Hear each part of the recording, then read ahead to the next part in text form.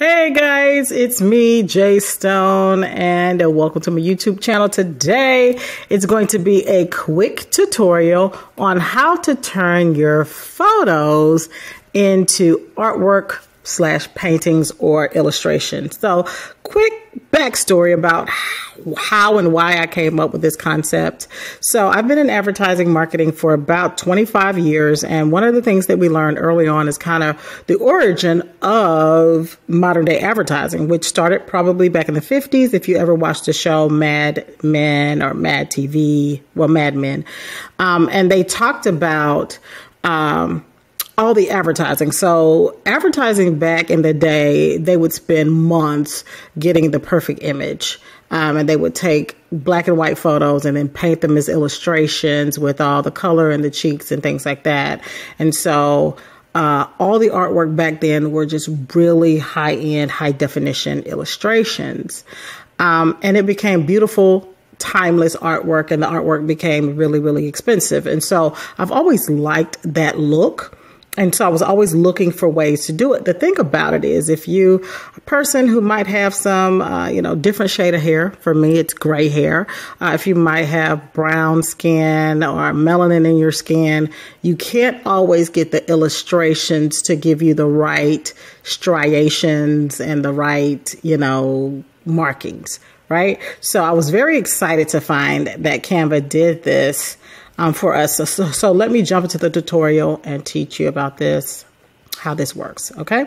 So I've already started with just a blank design, well, not a blank design, just a um, template that's already traditional inside of Canva and one of my photos that I really, really like. Okay, so the first thing I want to do is remove the background from the image because I don't want the image to want to spend a whole lot of time um,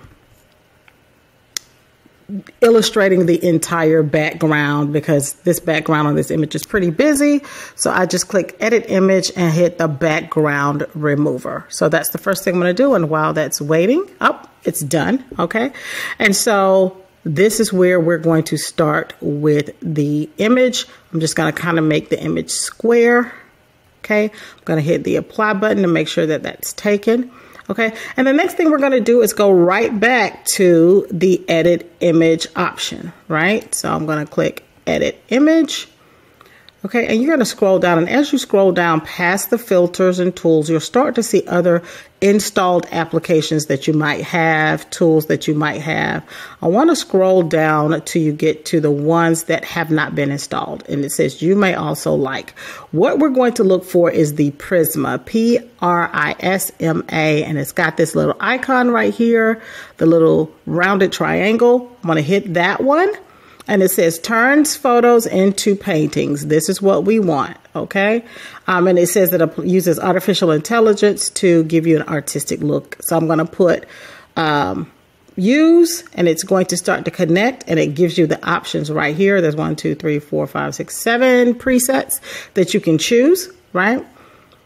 The Camelcade is one of them, and it just turns your artwork right there, right? And this one kind of gives you like you know, the um, mosaic look, right? You've got another one that does something similar. The pattern one does something similar. So I'm just going to show you a couple of these and then you can kind of play around with them.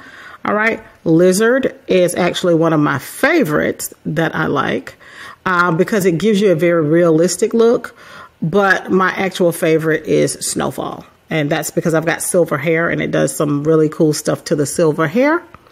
Okay, so I'm going to go ahead and use the snowfall and apply. Okay, and so I'm going to make this bigger. Now you see what it also did was because it did wasn't sure what to do with that background, it went ahead and uh, put a black background on it, right? I'm sorry, did I hit apply? Yeah, okay. So I'm going to go ahead and edit image. And I'm going to remove the background again. And the reason why I did it the first time was because I did not want the image to spend a lot of time trying to illustrate the background, right?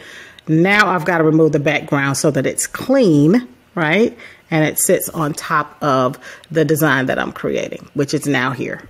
So if you look at this, right, and um, and what I like is that it gave it kind of the bluish purple hues uh, with um, with uh, my hair, I'm going to click apply. And as you can see, my teeth kind of look weird. I'm okay with that. I'm not trying to make it look perfect.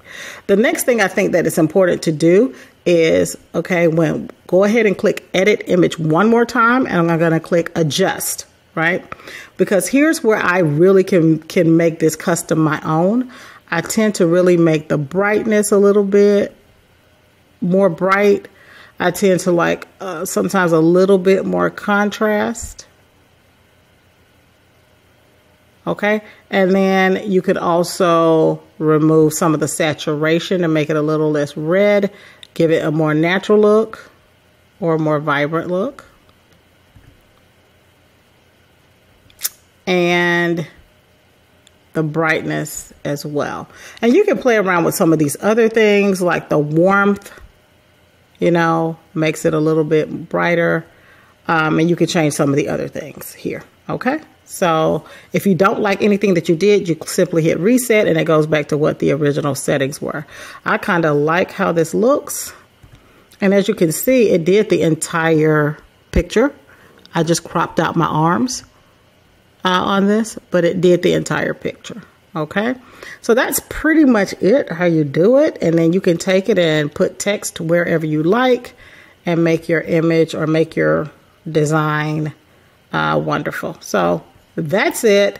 Um, I'd love to hear how this turns out for you guys. Um, but that's it for me. That's how you turn your paintings into artwork. I mean, your photos into paintings, artwork. You know what I mean. All right. See you guys later.